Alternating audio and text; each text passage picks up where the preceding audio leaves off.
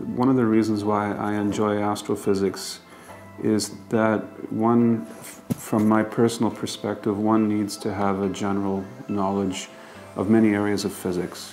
For me, I like to be a generalist. I like to know a little bit about as many things as possible and then, like pieces of a puzzle, bring this knowledge together to try to come up with something really interesting to do.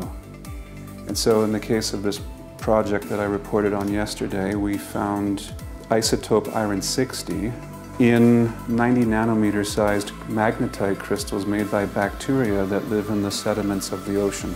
And this iron-60 came to our planet about 2 million years ago from a supernova explosion.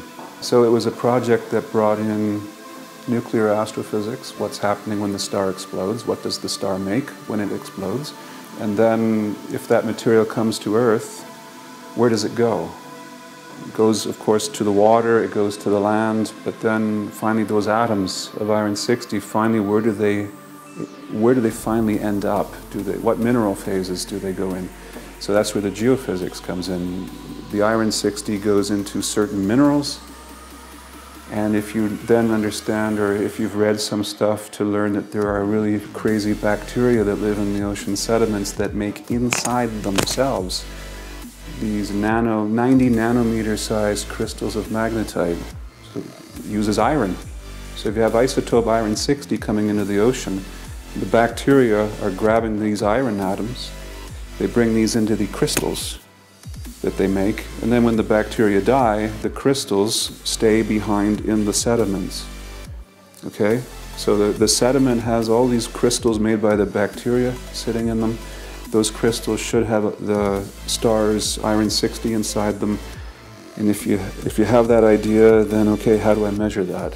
And so then at my university, at the Technical University of Munich, we have a, a 14 megavolt tandem accelerator lab, and my esteemed colleagues there, they built up a very special experimental facility that lets one measure with extreme sensitivity um, the still live atoms of a radioactive isotope before those atoms decay.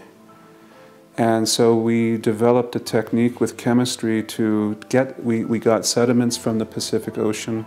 We did a chemistry method on, uh, on these sediments to dissolve these magnetite crystals the bacteria make, get the iron from those, and then make samples um, to put inside the tandem accelerator of our machine and accelerate those atoms into a detector system that then counts those atoms of iron 60, but also clearly tells us that is an atom of iron 60, not an atom of, for example, nickel 60.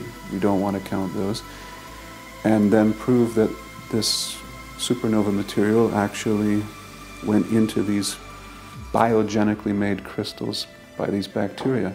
And then this tells us that two million years ago, a star exploded fairly close to our solar system, required looking at different areas of science. So taking the astrophysics knowledge, but opening the book in the head and, and looking at other areas of science, not as an expert, but just, and then seeking out people in the uh, different areas of science, geophysics, geomagnetism, and work with them. Well, so I'm only, I've only been here now for 36 hours, so and I arrived at night. So, no, I mean, the university, certainly the environment of the university, uh, the, the young people um, are very enthusiastic and very curious about new things. I was shown a tour of this Geophysics Institute and was highly impressed and shocked in a positive way at how many laboratory facilities they have. The, the, the they have X-ray spectrometry um, facilities here to, to obtain information on the isotopic composition of terrestrial samples that they get and so on. In this building alone, they, they have four or five different high, really high-end, impressive experimental ex spectrometers, uh, either by way of measuring masses of isotopes and atoms or by measuring the X-ray emission from electronic excitations of those atoms to get elemental composition of material. So the, the, the facilities here in this institute, um, I would say, are world class.